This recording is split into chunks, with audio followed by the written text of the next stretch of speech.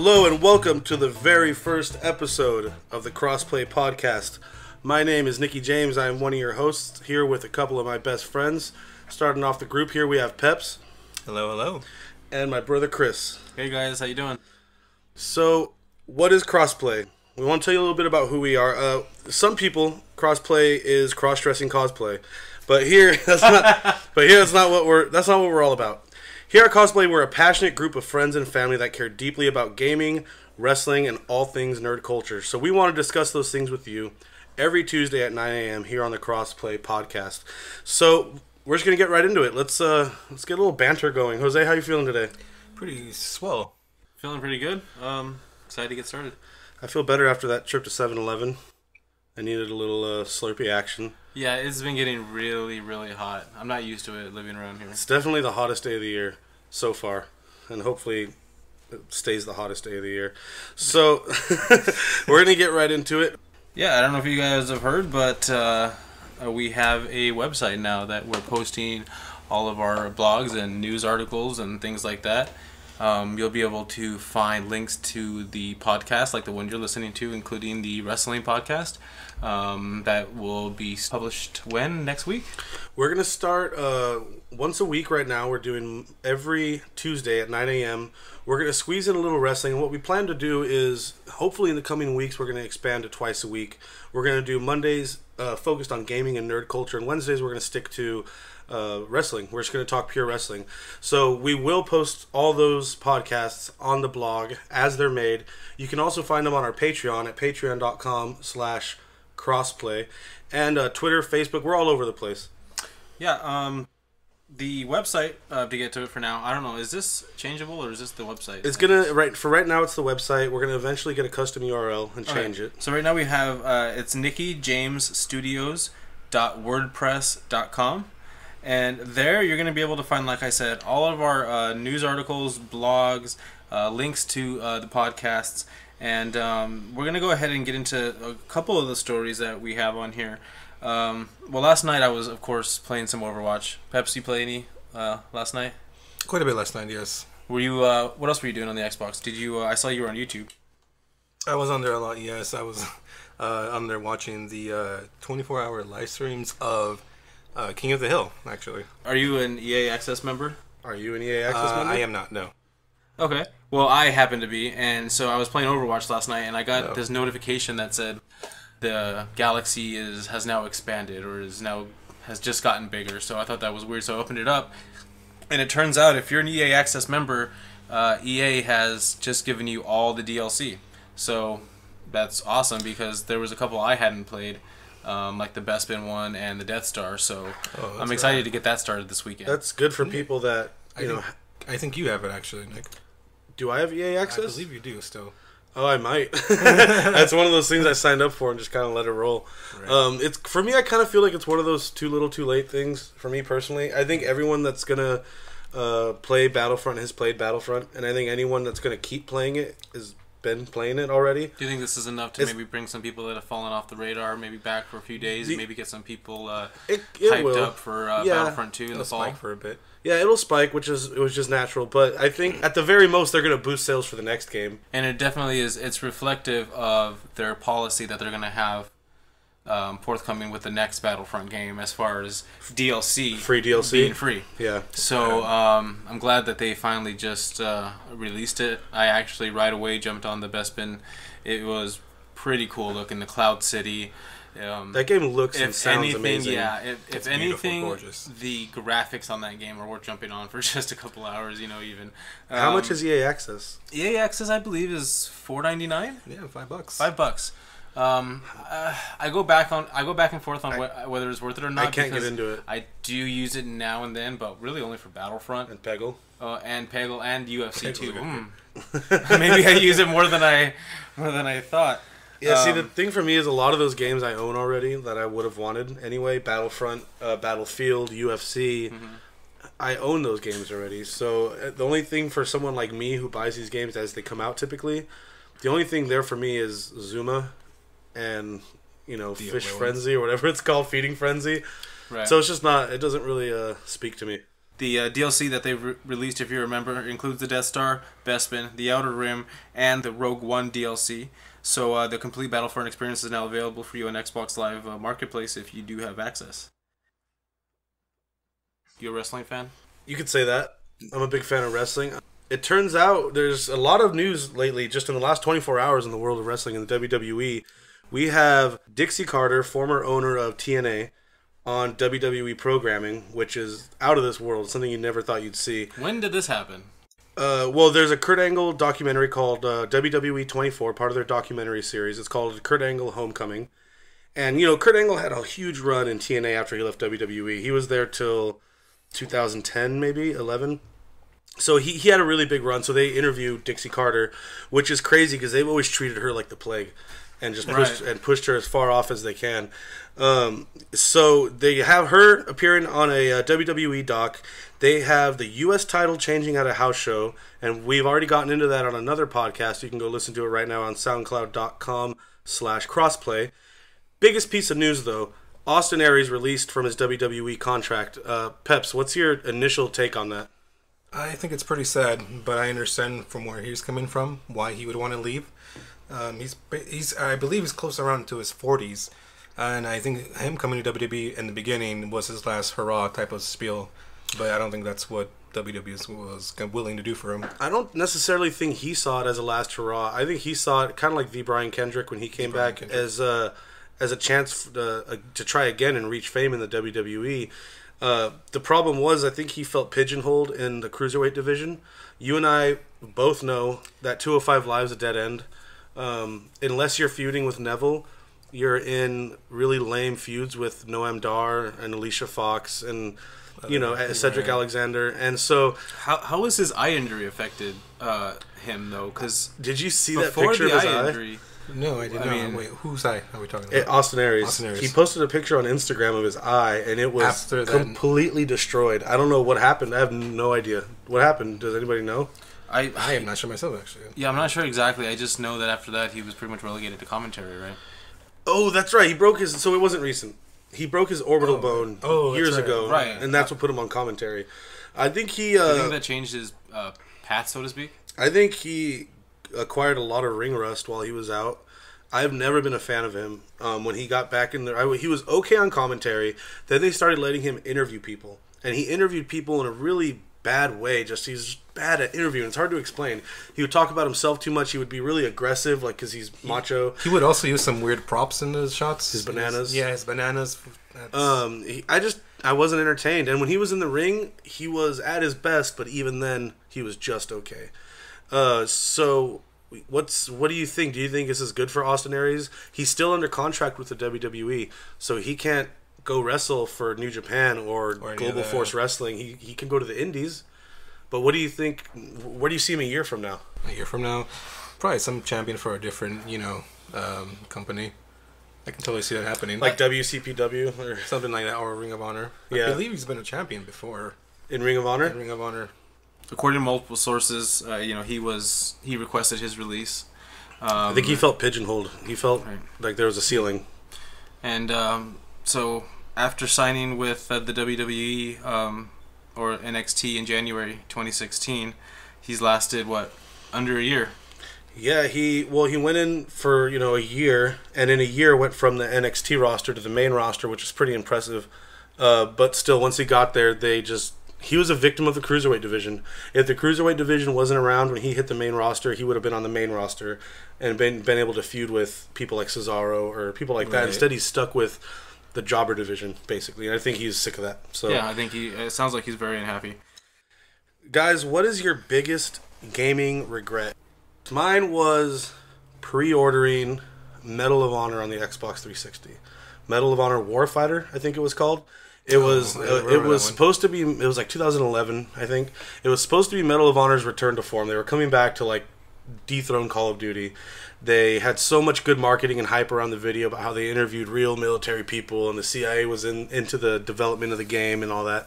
And I pre-ordered it, bought into the hype, waited till midnight. And the game was a piece of crap. It, it Wow. on every level failed. It was bad on every level. The gameplay, uh, matchmaking was horrible. The gunplay, it, it was like Battlefront. There was no recoil to any of the guns. Um, the community was toxic. It just, I never felt so cheated while for paying for something. So much so that I remember it now, six years later. So that's my biggest gaming regret. My biggest regret is I pre-ordered and not just pre-ordered like the standard edition. I pre-ordered like you know the deluxe edition of Halo Five at the time. What was it called? It wasn't called the deluxe edition. It was like It's some kind of weird like Yeah. digital, digital deluxe. or something. Anyways, there was obviously a lot of hype around this game. First game on Xbox, or first Halo game on Xbox One. It's not that this was a bad game. This was actually a really, you know, it was a good game. But for me, at this point, it's ceased to feel like Halo. Um, it just felt like something, uh, just a little, just just too different. A lot of people will tell you about Halo that, you know, it's- it kind of started falling off maybe after 3 Um, I, I liked four a lot, so I never really felt that. But playing five definitely didn't feel like um, you know a traditional Halo game. I never got that traditional feeling, and for me that was a big letdown. I hardly play it at all. So Was you're talking about Halo Five, right? Was that developed by Bungie or one No, four three or what? that was three four three. three four three. They That took was- their I don't know. reins on four. And, yeah. yeah, they did a good job on four. Um, so you know four was. I thought four was great. I mean, especially Oh, I considering four too. it was it was on the Xbox 360, um, but the graphics you could, you know, it pushed it pushed the envelope of what was capable on. Sorry. It came towards gen. the end of the generation for that 360 era. Right? Yeah, and I remember what were the enemies called in that one in four? Do you remember? Oh, um, I can't even think of them right now. The um. I can't remember, but they Yeah. looked really cool. Um, so what about you? Uh, regret. I guess for me, it would have to be. I pre-ordered Destiny One. Um, I was super hyped about it. I just love the idea of exploring space. right? Um, and the story looked pretty rad from what they've shown so far. But you know, that was before I found out they changed a lot of it towards the end of the of the of the, the uh, development. Um, regardless, I you know waited till midnight, played the whole game. I just sat through right through it and just trained it. So was uh, it? You would say it's a different game than what they It's a lot. advertised. It, yeah, it's a lot than what they advertised. But I mean, it did get better uh, towards the end, as they as the years gone by when they added new content, this and that patches. Uh, but it just took a while for me. I just had this really deep hated uh, thing for Destiny in the beginning because you know I blew quite a bit of money. You know, sixty bucks is quite a bit of drop on a game. Well, especially, yeah. yeah. You know, you want to get something. You want to be delivered a good experience. Uh, that's not what Destiny One did for me. Yeah, totally get that. So moving on now. Yeah, since we talked about our biggest regrets, how about we have our best uh, games that play, that gave us a surprise that we actually enjoyed it. Nice, keeping Something- it keeping it happy, going the other way with it. I like it. Uh, for That's a good. You go ahead and go first. I need to think actually. That's right. Okay, no, for me, it was. I remember, Oh. Uh, it was you know one of those. Was back in the 360 eras of way many years ago. Um, there was this game I've never heard of called Metro 2033. Mm, yeah. Um, okay. Going in, I was like, all right, sure, I'll buy it, give it a try, and, uh, and I was pleasantly surprised about the story. It was really good. It was set in this uh, kind of a nuclear holocaust post-apocalyptic world in Russia, where you um, play as this character named Artyom. Uh, you're basically one of the survivors. Everyone lives the underground in the metro area in the Russian subways. Oh, okay. Uh, the world was very populated at first. Is this a spooky game or Uh, first person shooter? It's right? a first person shooter. There's, I would say, thriller.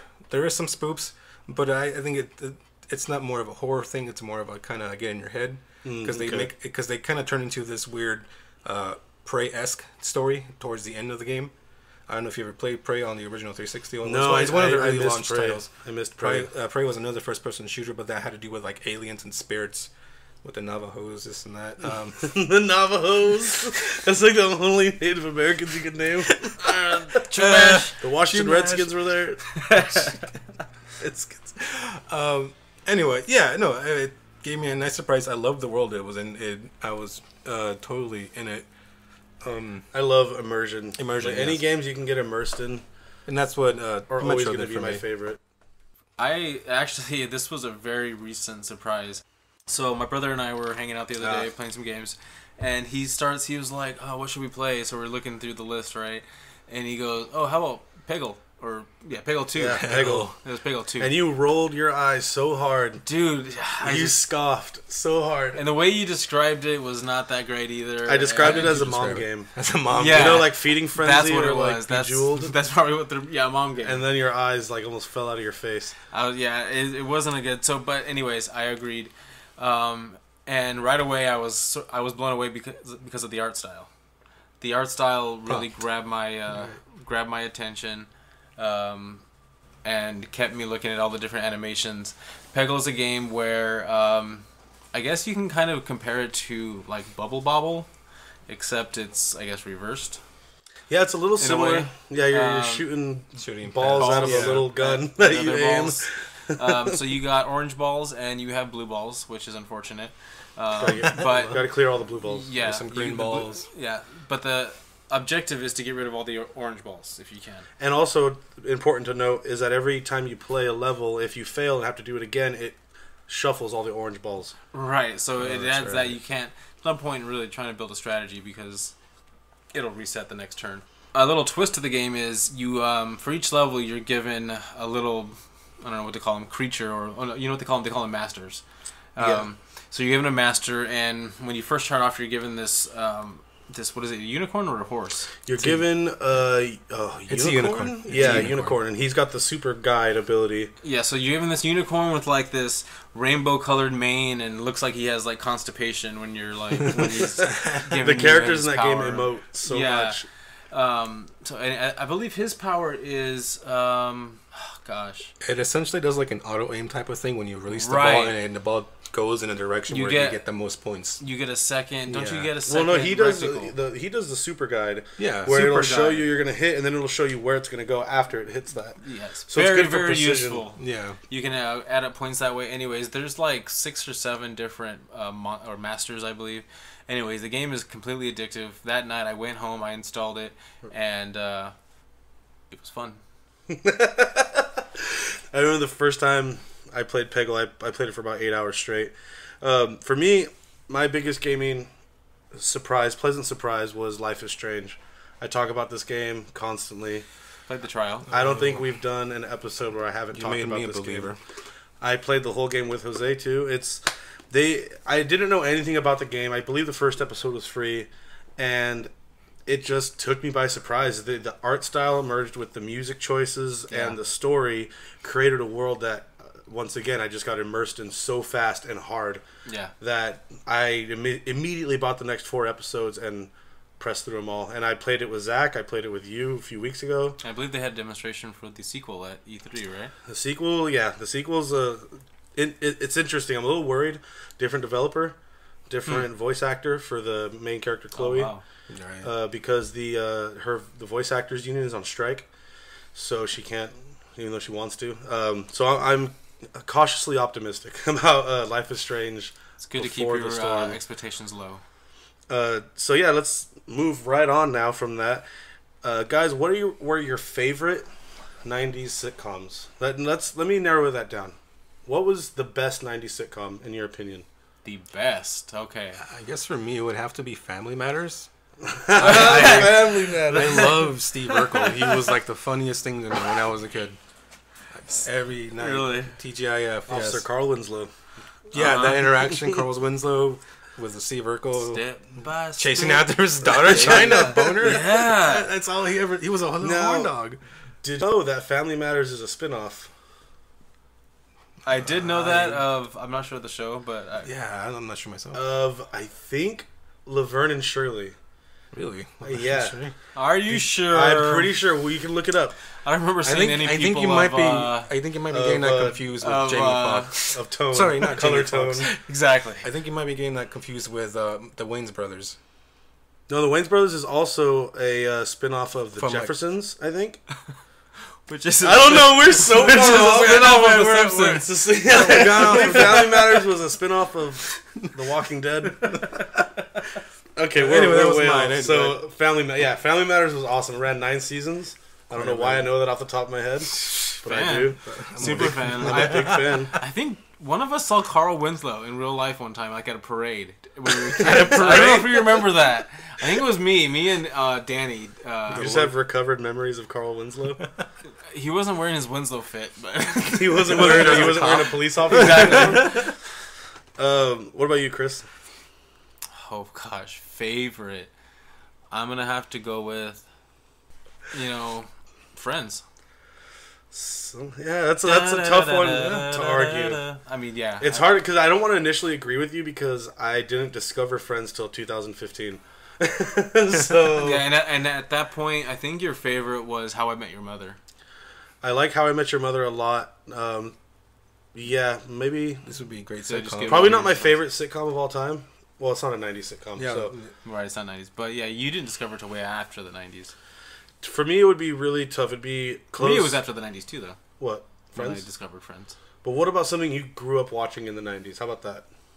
I grew up watching in the '90s. You got your King of Queens. You got your Home Improvements.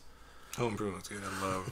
Got your Love, Mad love, About love. Yous. Married with Children was what a good show. What qualifies as a sitcom? Just like the amount a of time. situational comedy where there's usually a studio audience. It's usually a one or three camera setup. Does animation set. count? No, animation's No. not a sitcom. Um, Married with Children's another good Married show. with Children. that's you know what I mean. King of Why don't you go ahead? Let me uh, let me just ponder this for a second. Um, my favorite '90s sitcom, probably just because of the watchability of it, is. Ah, this is such. I don't want to say it because I don't want it to go down in the records, and then later when I say something else, uh, it's no, no, no. that happens a lot, people. It's gonna be Home Improvement. Home Improvement. I've, as an adult, watched that uh, television show all the way through, multiple times, and I it never gets old.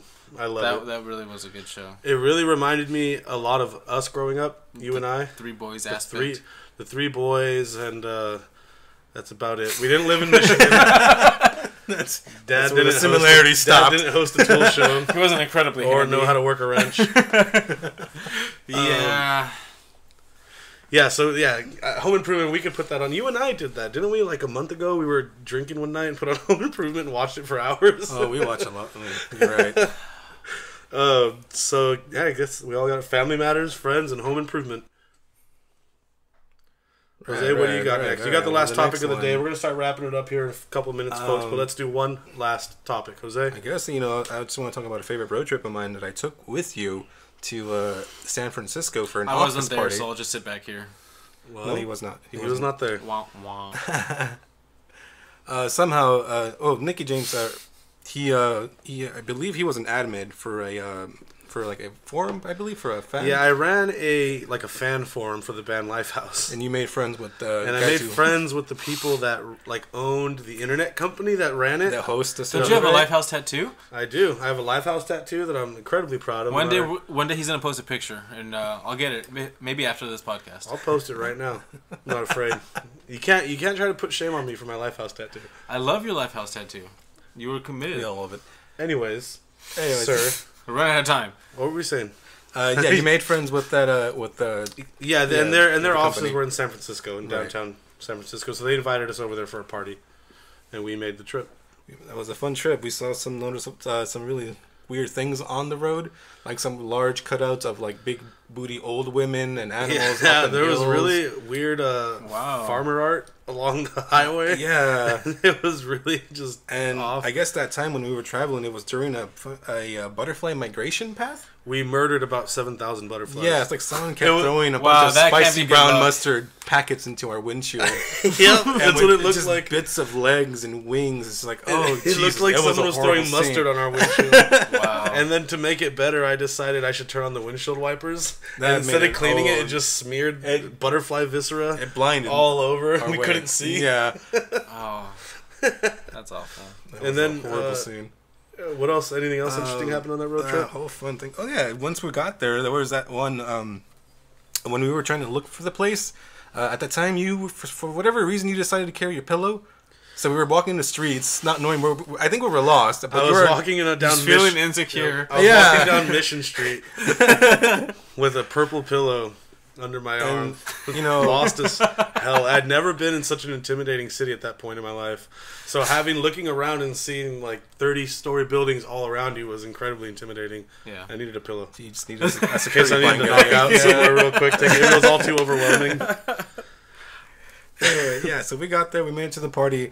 Uh, flash forward at the party when we were just, you know, getting our drink on, conversing with the uh, local hood rats. Not, well, not really hood rats, office rats. Sorry. There's no hood rats in San Francisco. No, I remember this one time. Well, at the party, you were just really so wasted. Uh, you had to hold onto my shoulder, and you leaned into me, asked, and told me to be serious if Yeah. the room was tilting. I was like, Jose, who's tilting Is this this building room? tilting? Jose, who's tilting this room right now? Uh, you were just so concerned about it, and I just there had been know, a, a lot of Jaeger that night. oh Jaeger That's when I was a young man. hammers. Oh, I remember you kept telling me the building's up to code, and I was like, "How do you know that? do you have paperwork?" Well, I actually took the only road trip I ever took. I'll make this quick. Um, I bought tickets to WrestleMania 21. It was going to be at the Staples Center. Uh, Nick's never been to WrestleMania. I have. Check Yep. one, two. He got to see Hulk Hogan from 900 feet away, guys. Rad. 900 feet closer than you. That orange puffball. Anyways, I had to make the trip from Ventura, California to Fresno, basically overnight, to get the tickets and be back in time for WrestleMania. Um, and because I was such a super fan at the time, I did it, and it was awesome. No crazy uh, farmer art though. So you're basically I did have a best friend that was with me that was no longer with us that threw up three times. So you're basically telling me the story to rub it in my face that you've been to WrestleMania. Check one, two. Check one, two, silhouettes. All right, guys, thank you very much for joining us here on the Crossplay Podcast. If you have any questions, topics, comments, anything like that, talk to us on Twitter at Crossplay Pod. If you like what you've been hearing and you would like to help us get bigger, better, and louder, you can support us on Patreon at patreon.com slash crossplay. And don't forget to stay up to date with all the latest nerdy news you need to know about at NickyJamesStudios.wordpress.com. I've been Nicky James. He's been Chris. He's been Peps. you guys have any parting words for our friends? Um, no, thanks for listening, guys. It was fun. Thank you so much, guys. We'll see you next time. Become a patron at patreon.com slash crossplay. Find us on Twitter at crossplaypod and on Instagram at crossplayentertainment. Read the blog at nickyjamesstudios.wordpress.com and join the discussion on Facebook at facebook.com slash crossplayentertainment.